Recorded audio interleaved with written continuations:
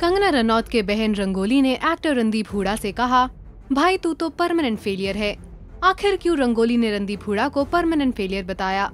तो बात ऐसे हुई कि रणदीप ने 16 अप्रैल को एक ट्वीट किया, जिसमें उन्होंने आलिया भट्ट की तारीफ़ की और किसी का नाम न लेते हुए कंगना रनौत पर निशाना लगाया।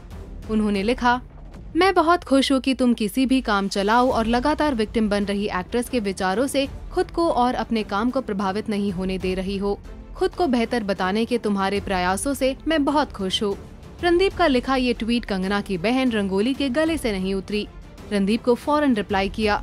वो भी एक ट्वीट नहीं, दो ट्वीट आलिया बेबी को बचाने को नेपोटिज्म गैंग की खुद की हिम्मत नहीं। तो तुझको आगे किया। आई नो ड्यूरिंग फ़िल्म उंगली वॉट यू डिड कितना हैरास किया तूने कंगना को, और कितना बड़ा चाटुकर है तू करण जौहर का। मगर फिर भी तेरा कुछ नहीं हुआ। At least people like Alia are successful because of चमचागिरी भाई, तू तो परमानेंट फेलियर है। At the rate Randeep Hooda आपको बता दे कि पिछले कुछ टाइम से कंगना आलिया के पीछे पड़ी हुई है। आलिया ने मणिकर्णिका के बारे में कुछ नहीं कहा। आलिया पॉलिटिक्स और देश के इश्यूज़ पर बात नहीं करती। काफ़ी कुछ कहा। लेकिन कंगना ने बातों को और बढ़ा दिया जब उन्होंने एक इंटरव्यू में आलिया के गली बॉय परफॉर्मेंस को एवरेज बताया। उन्होंने कहा, आलिया से मेरा कंपेयर क्यों है? गली बॉय में उनकी एक्टिंग इतनी खास नहीं थी। उन्होंने वही मुंहफट लड़की का किरदार निभाया था, जो वो निभाती आ रही है। आलिया ने भी कंगना को बड़े अच्छी तरह से टैकल किया। उन्होंने कहा, मैं कंगना के काम की बहुत इज़्ज़त करती हूँ और उनके विचारों का सम्मान करती हूँ। अगर उन्हें ऐसा लग रहा है तो इसकी कोई वजह रही होगी। मैं इस कमेंट की जगह ये याद करना चाहूँगी कि उन्होंने राज़ी के समय मेरी कितनी तारीफ़ की थी। मैं अपने काम पर फोकस करूँगी।